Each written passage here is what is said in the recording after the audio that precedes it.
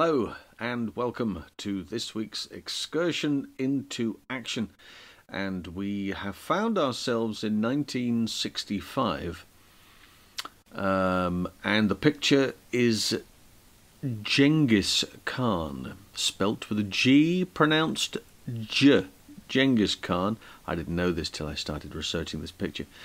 And it is, without doubt, um, it's a, from an action perspective, it's full on. And we're going to have a look at that action um, during the course of this. But just from a general overview perspective, nowadays, if uh, a movie is being pitched for the purpose of um, telling a story, an important social story, an important historical story, the casting of that movie is very, very dependent on getting getting things right, getting the the ethnicity of the actor correct, getting the locations correct. Do you know all of that sort of stuff? That's massively important. Here, in 1965, it's as though the producers have said, "We'll just cast box office. Doesn't matter about uh, where the where the actors are from or who they are. Their major concern is just getting bums on seats in the cinema, and consequently, well, they've cut a few corners when it comes to that sort of thing. Uh, Genghis Khan is played by Omar Sharif. Okay, ten years before, Genghis Khan was played by John Wayne. So that's actually come on leaps and bounds in consideration of, of the character. Um, a number of the sidekicks in the picture, the supporting cast, who are supposed to be from either uh, the uh, the Mongol Empire or indeed um, from the Chinese Empire.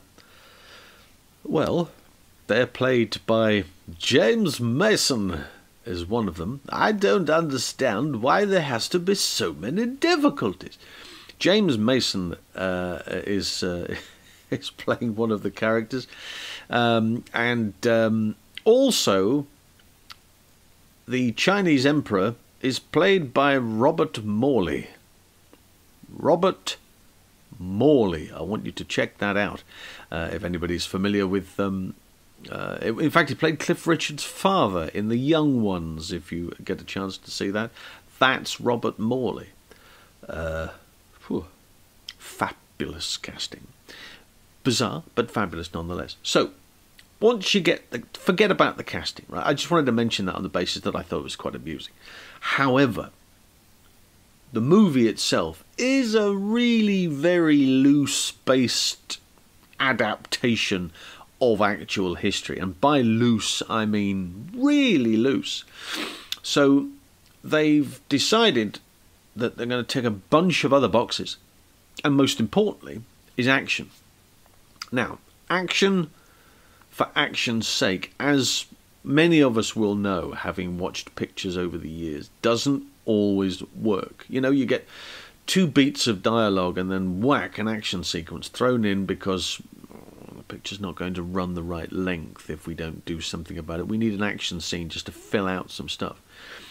They haven't done that here, but what they have done um, is they've realised that action is massively important and they brought on board, you know, at the time, the one man who was probably responsible for more successes action wise than anybody else. They brought on Bob Simmons.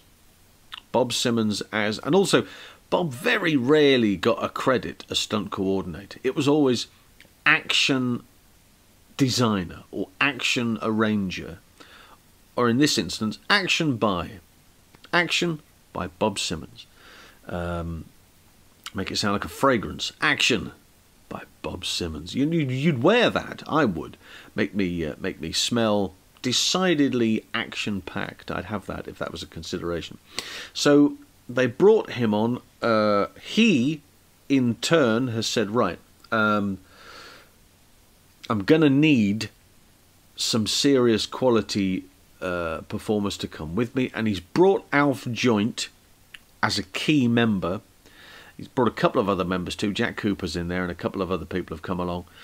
Um, but primarily, it's Alf, and Alf will be there for a couple of moments that we'll see.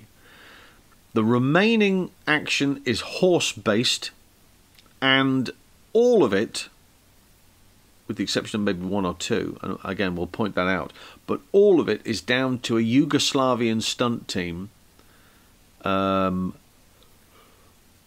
that Bob is familiar with, um, has sought out prior to going, and then when he gets there, there are a number of action extras, as they would be referred to today, guys who have you know maybe a bit more knowledge of a of a sword than your average Joe in the street. So in that case, that they are then worked with uh, by Alf and uh, and Jack, and they, they put these guys together so that they can create um, a decent enough look on screen, a passable look on screen as the camera's panning across, that the audience will go, oh, these are the soldiers. That's all it needs, but it needs a helping hand from the stunt professionals. So, with that in mind, it is also useful to know that the nature of the horse falls is extremely complicated. Horse falls are dangerous, you know, they, they always were, they're always made to look very exciting, but the horse in many situations, particularly when you were using falling horses that were being trained to fall on the bit, are trained, and that's the difference with a with with a you know you're not just throwing horses to the floor. However, in this particular production in 1965, they are still using a device known as the running W. Now, the running W is a device whereby the rider, the stunt rider, is not in control of the horse falling. Later on, there was a thing developed called the toe tapper, which was which gave control back to the stuntman who was riding the horse. It also allowed for the horse's fall to be tested and trained in advance. So there were a number of horses worldwide uh, in every country that were toe tapper horses. They were familiar with falling using this device. And as we've seen before on a number of occasions, the horse, the, the, the, the rider will go down to the right or left hand side and pull a lever or pull a rope or something that will bring the horse's two legs together at the front, causing the horse to fall in a designated area. This designated area will have been Uh, you know, scouted for safety and everything taken into consideration. But in this instance, this is not the case, and the running W is a primeval piece of kit which takes away the responsibility, takes away the control of the stuntman. So the leather, there's leather hobbles around the horse's leg, and from each hobble on the front, from each hobble is a wire. The wire comes up the horse's uh, legs over his shoulders. They cross over the shoulders, go underneath the saddle, and then in the distance are fixed to a stationary point. A stake in the ground, um, a tree, a vehicle, something stationary. The length of cable is only depicted on the basis that by the time they get to the end of that cable, they will be doing at least 20 to 25 miles an hour, and then the physics takes over and the pull. And the pull happens in the distance, there's no more tension, there's no more cable to feed out, and everything comes to a standstill. And in this instance, what happens is the horse's legs are pulled from under it and the horse will fall. Now, understandably, this was outlawed. They don't use this anymore. They stopped using it in the late 70s, believe it or not. The toe tapper was then not used and, and, and removed in the late 80s, so it took a very, very long time for the Humane Society and for stuntmen to realise that this wasn't a viable way of being able to bring horses down on film. Um, bringing horses down by the bit, training horses, uh, and again by the bit I mean you're holding the reins.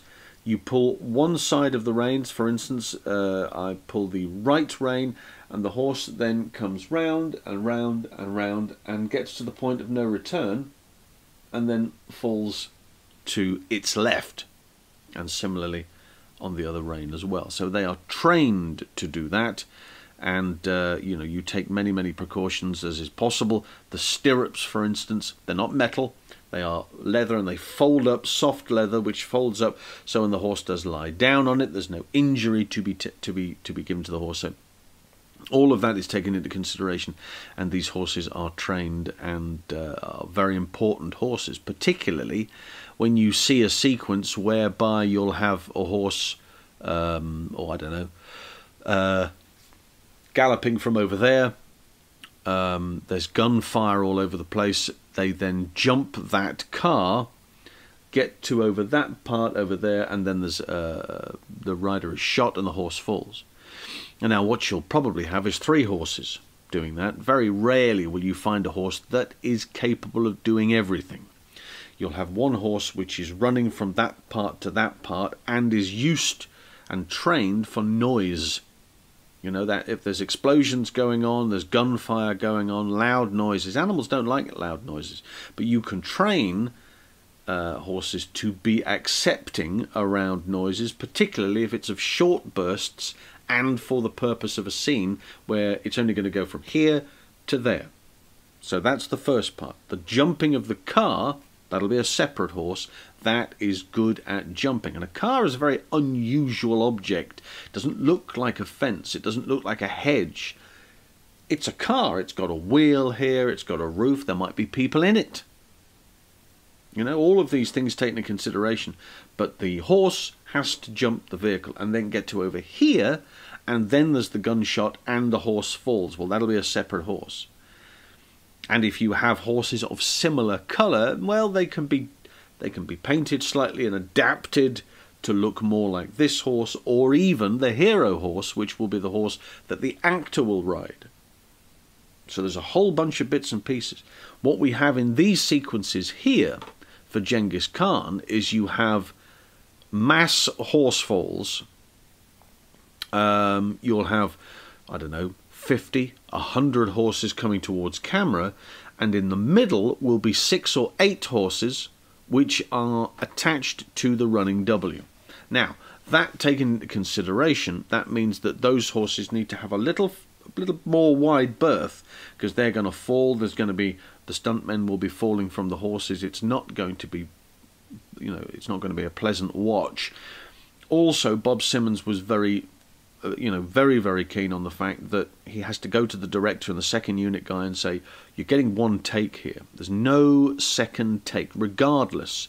Of what you think this production is worth, or what the value of this shot is worth, you get one and by that I mean that this particular horse fall, where we have, you know, what, 50, 100 horses in this shot, and those horses that are going to be falling, you need to cover that from five different camera angles if you're to use it again. And luckily, that's what happened. They used a number of these horse falls again and again. It's just that they edited it from different angles. So they'd got a number of different cameras running, massively important. And Bob Simmons was aware that that was going to be the case. So now that you are aware of uh, of the background to this picture and the distinct possibility that there are going to be some of you who will be disturbed by what you are about to see, um, that's the, uh, the the little uh, disclaimer at the start to say, yep, that's that's how it was back then. this no longer happens. Um, it has been outlawed, and nowadays, a great thing I posted uh, on Twitter the other day, uh, which was the mechanical falling horse. You may have seen. I started seeing them uh, in the movie Braveheart. Um, the horse is uh, it's it's mechanical, and by that I mean that it is on rails. To get it from that point to this point here, it will travel along a track, and then at the end here, it will tip itself up or it will fall. The rider will be in full costume. It will be carrying a lance or whatever, a sword, a rubber-tipped sword, whatever the deal is. Um, and it will get from here to here. It will fall with other horses around it, i.e., there will be other horses around it. It will be the one that that takes the fall, that takes the punishment. But it is a rubber horse, and it is mounted on a track. That's one thing that they, they started doing and have done in subsequent years. So uh, realistic was that, in fact, uh, in that particular sequence, and I think they did two or three falls using um, mechanical horses or, or uh, rubber horses in this instance that the Humane Society weren't sure and had to go in and verify. Um, you know, and the complaints that were received from the public when they saw the sequence in the movie. Very, very interesting to to think that the you know we, we, we were fully aware that that was what was going on, and yet the the audience weren't convinced of it because it looked so realistic. Well, that's the purpose of the of the situation. If you can make it look realistic, well, you've done your job. Uh, nowadays, of course, they use that. They can also can put in CGI horses. Full stop. CGI has now got to a stage where you you don't need to have horses there. Um, the performer could be on um, a, a, blue screen or a blue piece of apparatus which travels to a certain point and then will move in such a way that the stunt performer will uh, fall and around that particular piece of footage the um, CGI tech whiz kids will put in um, a horse they will CGI an animal in and the fall looks realistic um, so there are other ways of doing it now much more time consuming possibly but obviously from a safety point of view it is prevalent that uh, that safety is everything. So on the strength of that, that's what happens now. But back in 1965, the action on this particular movie looked like this. So here we go with Genghis Khan, Genghis Khan. Um, action sequences, Bob Simmons. And uh, we start with a piece of action that involves Omar leaping from the waterfall. About 50 feet, I would say. Alf Joint doing the high part here, look. Good man with heights. Falling away from the hydraulic action of the falls itself. Turns up again a bit later on. Ooh, after being hit with a. There he is. And then a nice fall out into a concealed bed. Alf Joint again up there on the tower as this flaming mass comes to him, jumps over the top of it. This is Bob Simmons doubling Omar Sharif. There, to the best of my knowledge, there weren't any women, stunt women, working on the picture. I suspect that that is a uh, a Yugoslavian stunt man hanging onto the back after shaving his legs for the purpose of this exercise, presumably. But Bob, he's in the saddle, but Bob isn't in the saddle. He's right in front of the horse's mane. Number of different horse falls,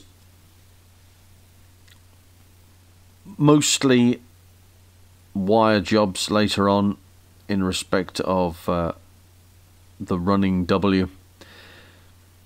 Plenty of great horsemen. The the um, the Yugoslavian guys are just magnificent. Here's the first batch. We'll take a look at some of these. I mean, they are brutal. Boom, down you go. Let's look at it in slow motion. He's not a, he's not bringing that horse down himself. That is the running W. Those legs. Look at the legs in the background, the front legs. They're lifted automatically. Horse goes straight to the ground. And the stuntmen are passengers. More mass ones here. Take a look at this next one as well. Look at the, it's a, like a prepped area. The area's been prepped. You see the horse's front legs come up. That's because there is a fixed point off in the distance where they are attached to. I changed it years later, but another example here. See, horses falling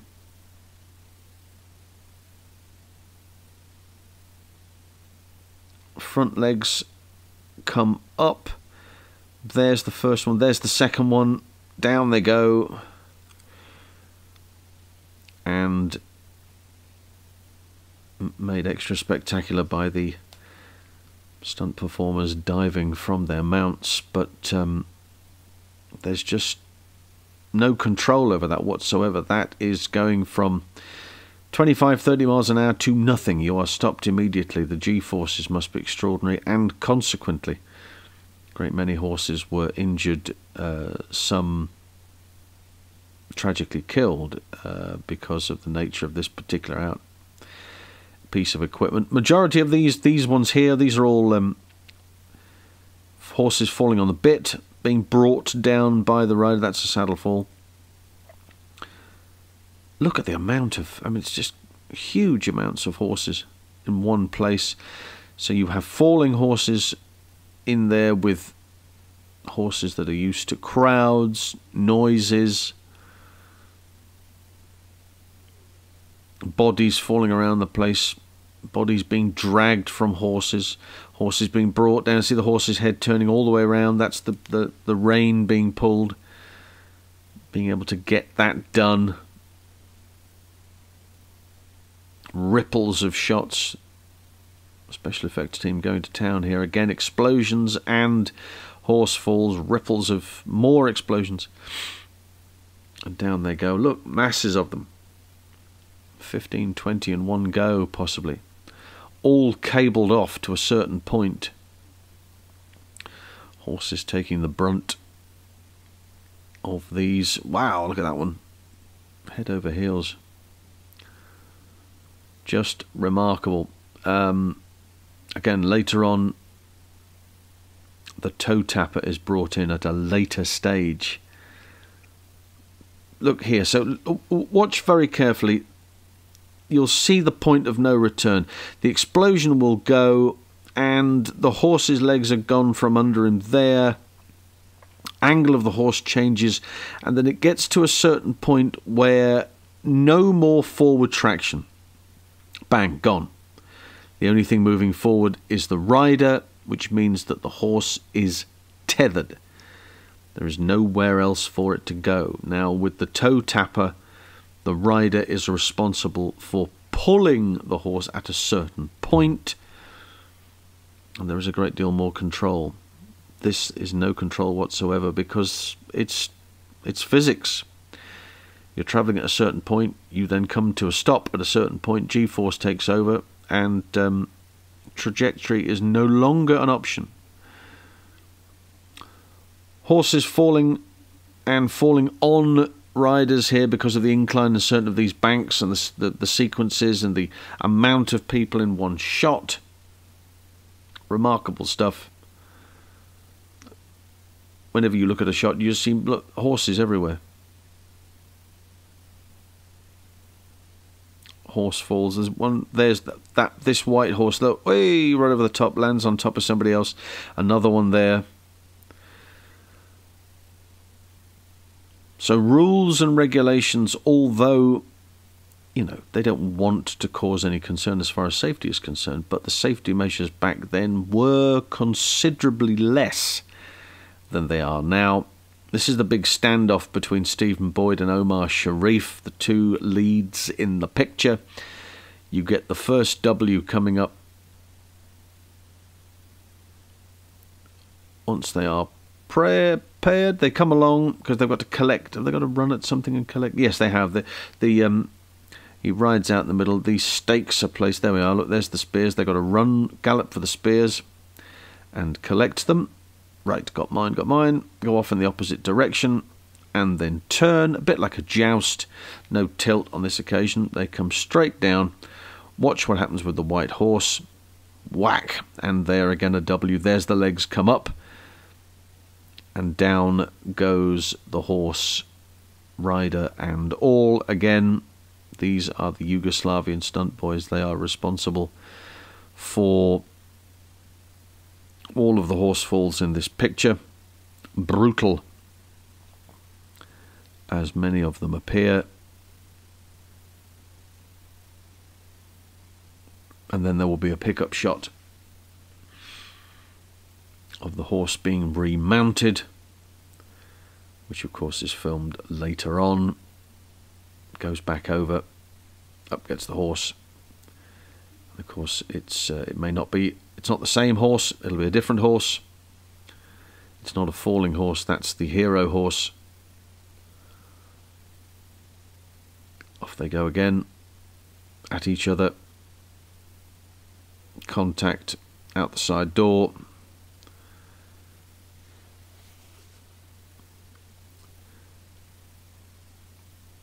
Everybody looking a bit weary. They're still remounting their horses. And it's a brutal sequence, you know, these two men fighting for the death. Um, again, the, the choreography has to be of such that you have to be in control of your horse and acting at the same time, of course. He's now bringing him over. Look, the horse being brought down on the bit. Horse then runs away. We're now down to one horse. Over camera angle here. You'll get a similar shot in just a moment where Boyd's horse is brought down as well. Here, push, push, push, drag that there. You see, brings the rein over, and down he goes. And it is hand to hand battle here until the final blow is struck. But the purpose of this, I mean, the story itself, it bases itself down to these two men fighting against each other. And yes, you know, these two guys have worked very hard on the choreography and they're trying to remember what happens next. And Bob Simmons would have been responsible for teaching both of them the moves in this particular sequence, in this particular shot. But it is not as simple as that. And of course, a huge proportion of the action of this picture is down to falling horses. How those horses look how the action looks on screen, the size of everything. The trailer depicts it as the biggest, one of the biggest stories ever told, one of the biggest action films ever shot at the time. Well, maybe that was the case, um, but they they are. You look at the, you know, they're doing a lot of blood and gore here. Syrup, possibly, possibly syrup. We flipped over onto his back. And this is where the final blow is dealt. Genghis Khan won. Rest of the world nil.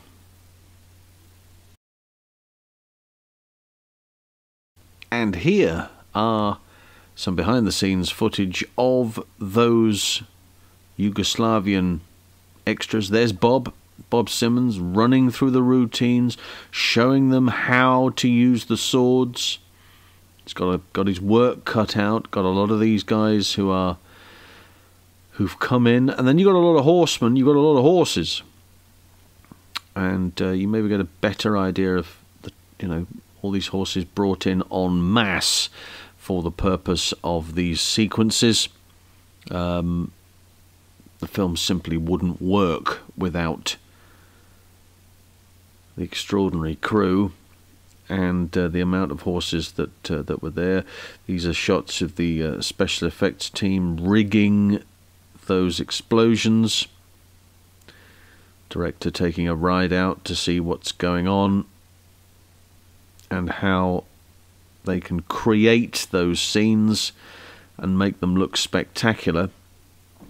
The ripple effects that they get there look they look pretty good on the big screen. They look pretty good on the small screen, to be honest with you. But um, these the detonators and and flashbangs are put in certain places, allowing for the best coverage of all of these shots. Uh, so all of the externals were done in Yugoslavia. Um, interiors, I think, were filmed in Berlin, if I'm not mistaken. Uh, there was uh, some studio work done there for the interiors of the um, palaces and uh, all the all the inside shots. But of course, the cameraman on horseback as well. This is long before the days of drones, or long before the days of the pencil cam, or the lipstick cam, as it was referred to, uh, small and could be placed anywhere. And all of those drones, uh, a thing of the uh, a thing of imagination. It was uh, still a case of having a chopper flying above the action and being able to catch all of that. Um, again, you've got to have horses that are happy with noise and happy with loud noise. Helicopters provide one hell of a loud noise if you're not used to it. Um, and when you've got masses of horsemen all arriving at a certain point at a certain time, there's screams going on, there's shouts. Look at the size of that. That's all horses. Look, unbelievable. Production itself was remarkable. Um, in comparison to today, it didn't cost that much, but that's the shot in the sky, which presumably will then cue everybody to start riding in. The helicopter shot as it tracks along with everything else. All the horses with the stunt riders. There it is, there's the helicopter panning along. Guy's doing a very good job of keeping everything just in shot at the right time. And uh, they prepare for these locations, the horse falls, everything in the recce's particularly, they have to find places where these horses can fall. I mean, although, you know, we've, the methods are such that uh, it wouldn't have made the blindest bit of difference, but the, the area, the ground is prepped prior to them landing. And it's old school cinema, you know, you've got a director who is in charge of all of that. The director is king on on uh, film sets like this. We saw some of these shots made it to the final cut.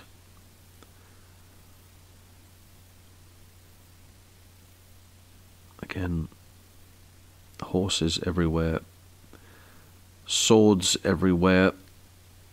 Didn't seem to be a great deal of rubber swords either. I know there would have been in certain cases, but they looked a bit too real for my liking. And there's explosions going off. And uh, all around the action.